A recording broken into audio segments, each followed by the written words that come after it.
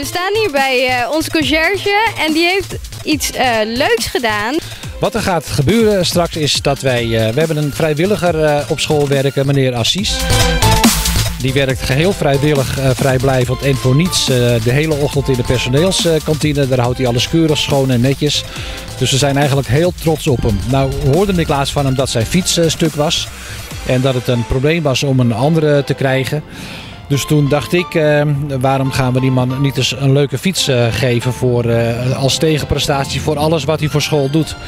Ik heb het met Jannie besproken, de rector. En eh, nou, ik zeg, ik, eh, ik had het nog niet uitgesproken of ze zegt van kopen die fiets. Dat gaan we doen, dat is zo leuk.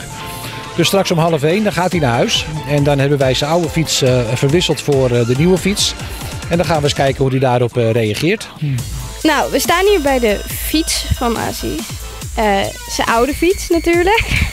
En natuurlijk ook zijn splinter, splinter nieuwe fiets.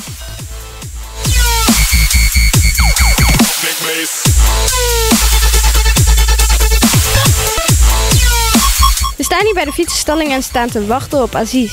En volgens mij komt hij daar aan.